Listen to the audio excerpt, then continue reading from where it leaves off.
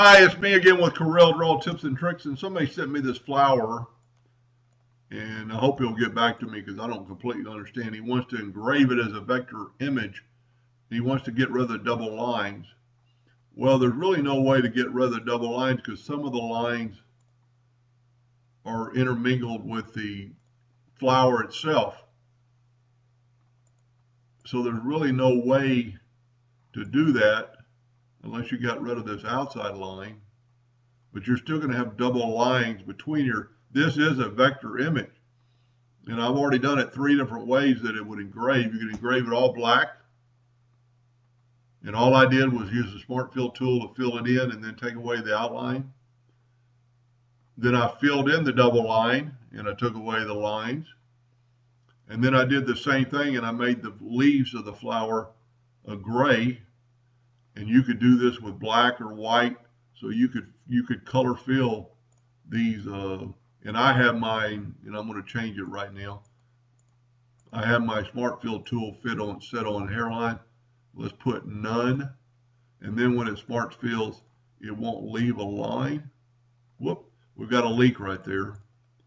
And whenever you have a leak it's going to turn everything black and that doesn't look where the flip because you, I have my outline.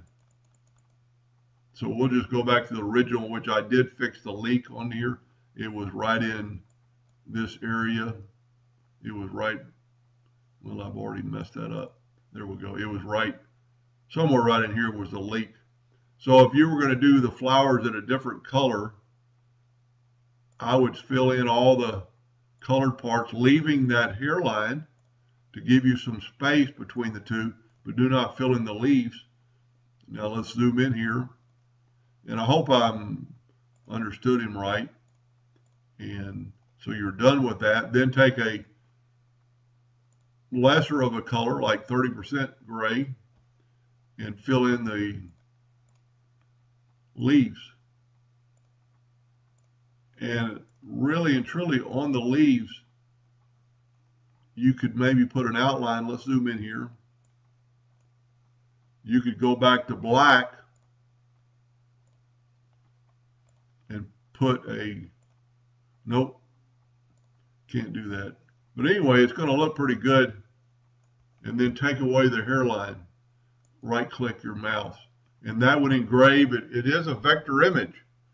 Uh, he wanted to engrave it as a vector image. That is a vector image. I would bring these uh, leaves a little bit closer in maybe and you can do that just by moving the shape shape tool and move your nodes around a little bit. Anyway I hope that was his answer and thank you for watching